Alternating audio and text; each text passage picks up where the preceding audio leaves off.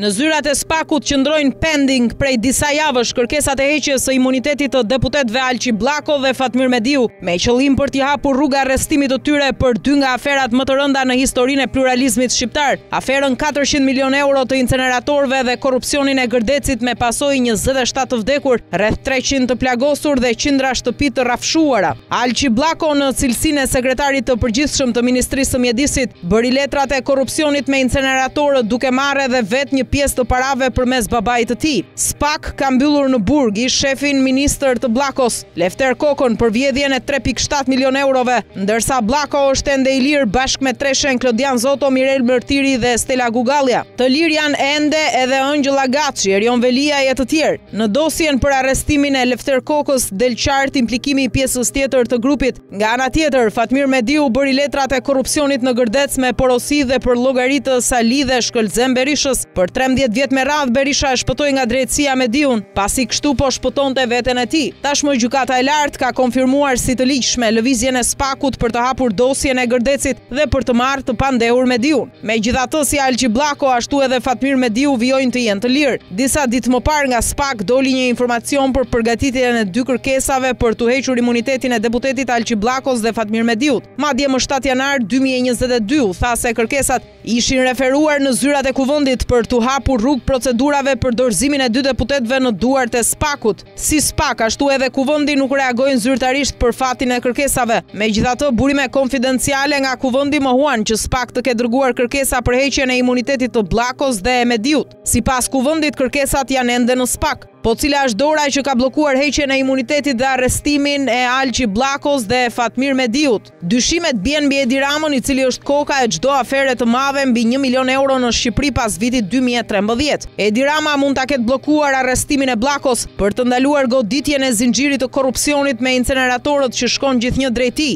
Për balancim, ka bllokuar edhe arrestimin e Fatmir Mediut, i cili mund të fundos nga momenti në moment Sali Berishën me të birin.